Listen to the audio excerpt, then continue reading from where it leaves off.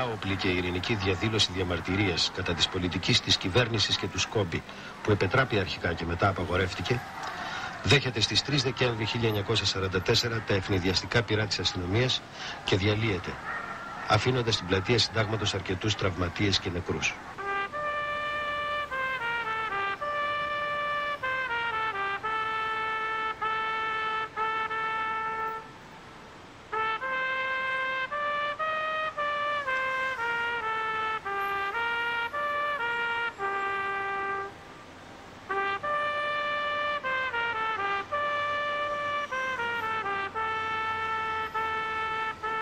Την επόμενη μέρα και μετά την κηδεία των θυμάτων ακολουθεί νέα διαδήλωση διαμαρτυρίας που χτυπιέται και αυτή. Στα χτυπήματα αυτά το ΕΑΜ απαντάει καταλαμβάνοντας ορισμένα αστυνομικά τμήματα στο κέντρο και στις συνοικίες, ενώ συγχρόνως ρίχνει το σύνθημα της ενεργητικής αντίστασης. Έχει αρχίσει ο Δεκέμβρης.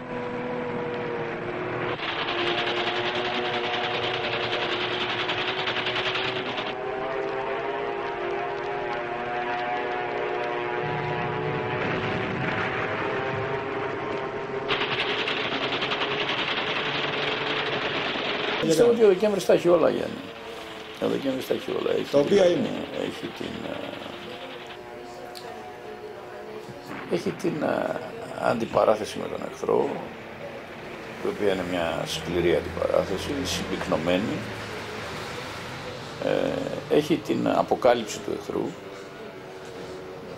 δηλαδή διαλύονται οι αυταπάτες για το Το ΕΑΜ αποδέχεται τη σύγκρουση. είναι εχθρός, πόσο είναι εχθρός, ως πού φτάνει ο εχθρός.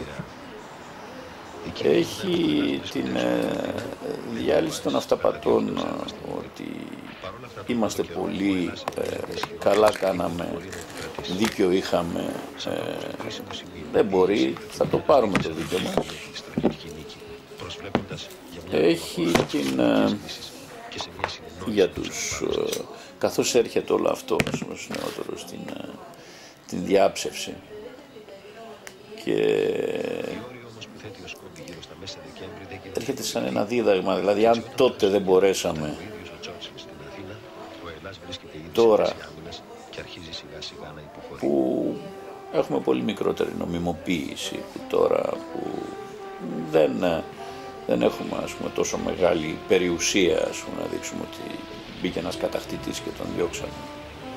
Είναι δυνατόν τώρα να μας ε, σεβαστούν οι άλλοι, ο άλλος να μας σεβαστεί και να πει θα, θα δεχθώ ας πούμε την, τα αποτελέσματα, θα δεχθώ την νομιμότητα, θα, ε, θα αφήσω το παιχνίδι να εξελιχθεί υπό κανονικούς όρους ε, αφού φτάσατε ως εδώ είναι δικό σας.